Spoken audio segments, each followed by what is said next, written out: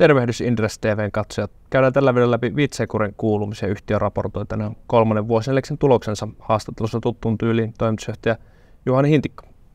Morjesta Juhani. Morjes. Haluatko aluksi lyhyesti kertoa, että miten teillä Q3 oikein meni? No, headline oli kannattavuus koheni haastavassa markkinassa. Se kertoo jo aika paljon.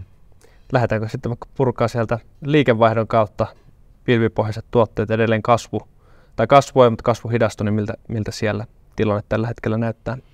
Joo, sielläkin on näkynyt tietysti tämä yleinen niin kuin makroekonominen tilanne, eli asiakkaiden päätöksentekoajat on vähän pidentynyt ja sitten on toisaalta myöskin asiakkaat ollut säästäväisiä sen suhteen, että kuinka paljon he ostaa, vaikka he edelleenkin on, on asiakkaita. Ja kaikki tämä on niin kuin näkynyt nyt myös meillä tässä mitä vielä sitä jatkuvaa vuosilaskutusta siellä pilvituotteessa, jos koko vuotta katsotaan, niin sehän on käytännössä nyt tämän vuoden aikalailla ollut paikoillaan siellä reilussa 80 miljoonassa, niin ja nyt pikkasen Q3 laski, niin onko se enemmän sitä, että asiakkaiden kukkaronyörit on tiukassa vai onko miten on kiristynyt kilpailu vaikuttanut siihen?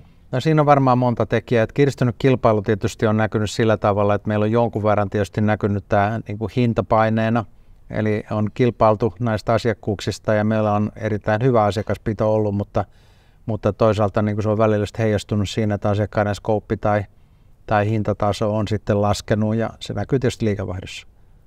Kyllä.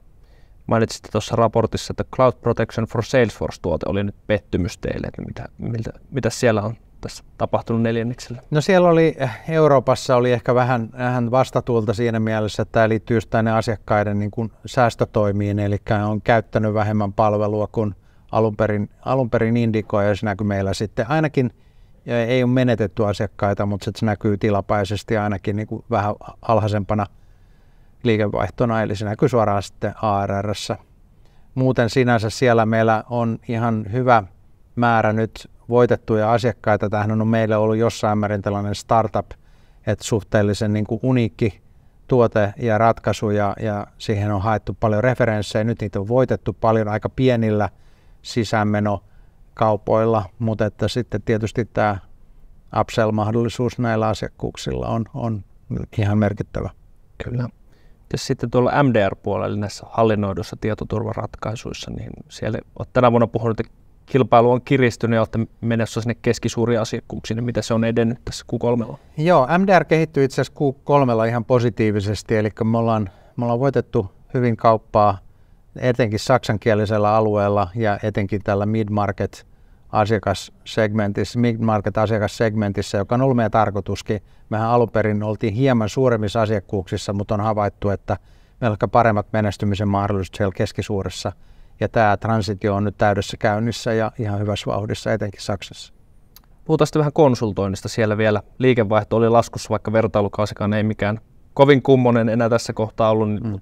Miltä, miltä siellä tilanne tällä hetkellä näyttää? Mä sanoisin, että tästä huolimatta niin siellä ollaan menossa oikeaan suuntaan. Että siellä on tapahtunut ihan, ihan hyvää ää, tilauskannan kehitystä. Siellä on muutama merkittävä uusi asiakkuus voitettu. Mä en ole aikaisemmin puhuttu siitä, että koska meillä ei ollut tarpeeksi uusia asiakashankintaa, me ollaan oltu niin riippuvaisia nykyisten asiakkaiden ostoista. Nyt on tapahtunut kaksi asiaa, eli tämä on stabiloitunut tämä nykyisten asiakkaiden ostokäyttäytyminen, tai tietenkin finanssisektorilla, ja sitten me ollaan myös voitettu muutama merkittävä uusi asiakkuus, että mä oon toiveikas sen suhteen. Miten näkyykö tällä puolella myös se talouden jäähtyminen ja asiakkaiden jarruttelu? No se on näkynyt, mutta niin kuin sanoin, niin tässä finanssisektorilla se on pikkusen tullut nyt takaisin. Kyllä, no se on hyvä kuulla, että siellä Joo. nähdään olettavasti parempaa sitten jo loppuvuodesta. Äh, ehkä sitten vielä just loppuvuodessa käydä, piditte näkymät ennallaan, niin mitä on semmoista keskeiset lopputeemat tai fokusalueet, mitä loppuvuonna pyritte tekemään? Joo, tämähän on meille tietysti vuoden tärkein kvartaali, niin kuin monelle muullekin yhtiölle asiakkaiden ostot painottuu usein neljänteen kvartaaliin. Ja nyt spesifisesti meillä, niin kuin tuossa aikaisemmassa tilaisuudessa sanoin, niin me pyritään konvertoimaan meidän niin sanottuja Business Suite on-premise-asiakkaita meidän cloud-portfolion asiakkaiksi, jotka, jotka on edelleen, molemmat on siis ARR-bisnestä, mutta tämä jälkimmäinen on tätä Cloud ARR, jota me raportoidaan ja ennustetaan, ja tämä on meille merkittävä Q4-hanke. Ja ilmeisesti myös strategiapäivitys on parhailla menossa ja siitäkin mahdollisesti kuullaan vielä Siitä kuullaan vielä tässä tota, Q4-aikana. No niin, jäädään sitä odottelemaan. Kiitos, Kiitos.